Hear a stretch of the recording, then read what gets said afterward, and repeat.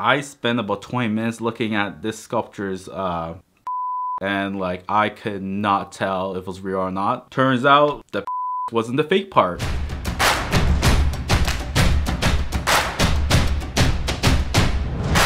Hey, I'm SupaSenpai, and today we're going to be talking about the art gallery, and specifically how to finish this within 24 hours. This guide will help you out if you're going to go for solo or with a friend. This is the best way to do this, and it's a very common way to do it too. As of April 2020, Redd spawn rate comes around 3 days to over a month.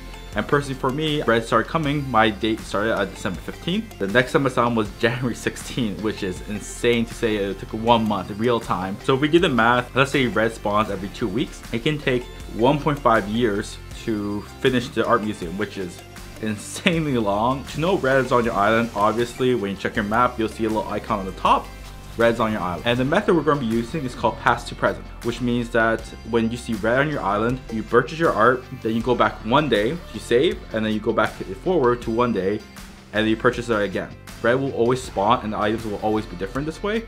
So this is the best method to do it. We also call this the Groundhog Day because if you've seen the movie Groundhog's Day, the day just repeats over and over again. Nothing really gets too affected. So one of the two of your villagers act like they want to move out, but they don't really move out. This also works for characters like Celeste and Gulliver too. So if you're grinding on their DIYs or rusted parts, perfect way to do this too. However, if you go from present future, the day you see Redd and then the next day and go back, that doesn't work. I'll explain later in the video, which is a little bit more complicated, but let's just get straight to the point. You see Redd on your island. There are four different potential options out there. Number one, there's one real, three fake. I spent about 20 minutes looking at this sculpture's uh, and like I could not tell if it was real or not. Turns out the wasn't the fake part. Turns out it was because there's a book in his hand. So I just stare at that guy's pointing this for no reason, and I just yeah. Me personally, I spent about I bought nine rock heads because I couldn't tell the difference between this one and this one, which one's smiling, which is not.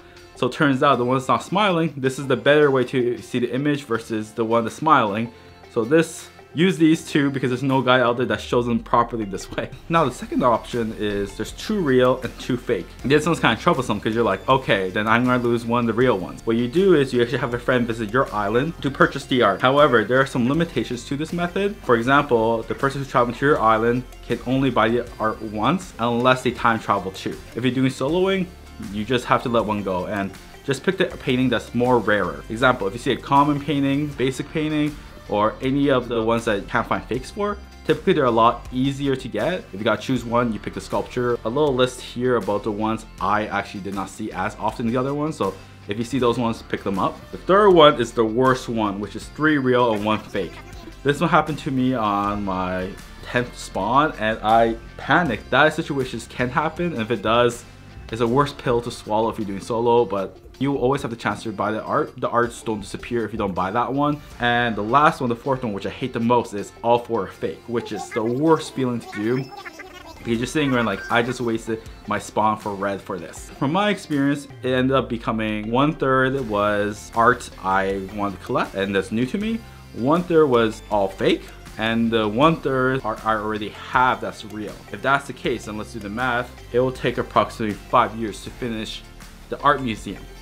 So that's, if you want to wait five years, then go nuts. But if you know this part, then yes, do the groundhog method because that will save you so much time because yeah no I, I do not want to wait five years to finish my art collection in the museum when you finish giving getting all the art and you give the Blathers Blathers gives no well, he, he'll say yes congrats but that's about it. You don't get any reward. It's even worse than fossil or bug. And it's about the same fossil doesn't give and then Bug, he doesn't even acknowledge it, but he'll give you the goal in the, the next day.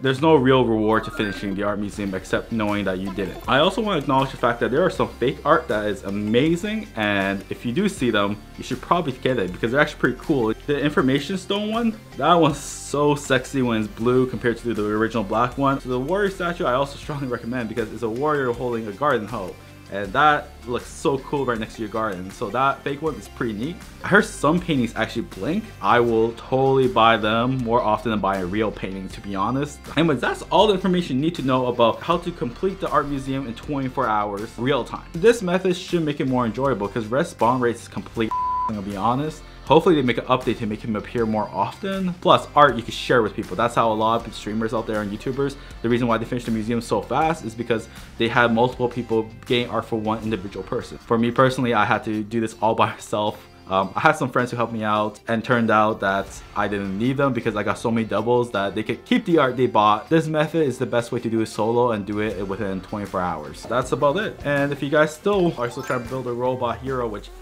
I finally finished building and trust me, it was totally worth it.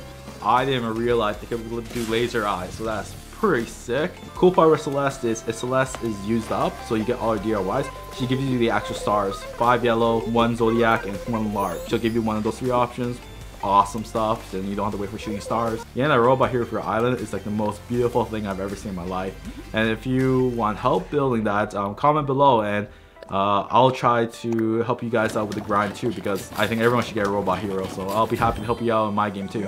Anyways, thanks for watching. I know this video is not more for the art per se because there's a lot of videos out there. I just want to make sure you guys have a fun excitement, get this done as as at the pace that you're comfortable with or even like or faster to the point where you got let's say 80% of the art then the rest of it's just more enjoyable for you. In my next video I'm going to be talking about everything done in Animal Crossing. I find a year loop. I've done everything possible. I, I know all the events are missing, so there's no Halloween, there's no Thanksgiving, there's no Christmas, but there's a lot of cool events that actually happen and a lot of seasonal stuff that are actually really cool. I want you guys to watch it, as well as give me up my final experience with the fishes and bugs, how I caught them all, and how you guys can find them too. And the most important part, how to get the glow stick. That is the best item in the game, and I'll save that for the next video.